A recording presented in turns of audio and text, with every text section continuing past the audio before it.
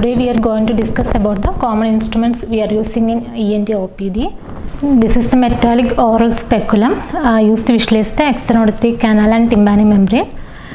Uh, we have to use according to the uh, according to the age and uh, size of the external auditory canal.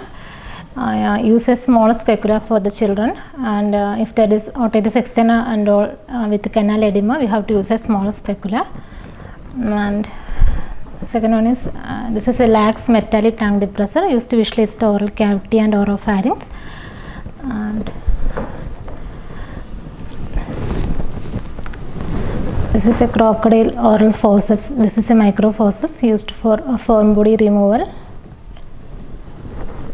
And this is uh, Jobson Horne probe used for uh, foreign body removal and wax removal and all. This is Thudichum nasal speculum I used to visualize the nasal cavity that is for anterior rhinoscopy examination. Uh, this is a curved uh, nasal suction uh, tip uh, used for uh, cleaning of the nasal cavity and this is uh, ear suction tip of various size for aural toilet.